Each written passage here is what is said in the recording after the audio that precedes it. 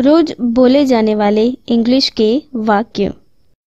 मुझे उससे कुछ लेना देना नहीं है।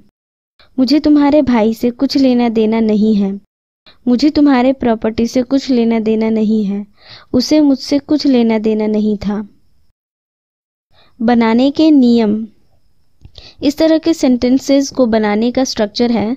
Subject plus has have had plus nothing to do plus with plus object जब सेंटेंस प्रेजेंट फॉर्म में हो तो हैज़ हैव का इस्तेमाल करेंगे और पास्ट में हो तो हैड का इस्तेमाल करेंगे। तो चलिए इस तरह के सेंटेंसेस बनाना सीखते हैं। मुझे तुमसे कुछ लेना देना नहीं है। I have nothing to do with you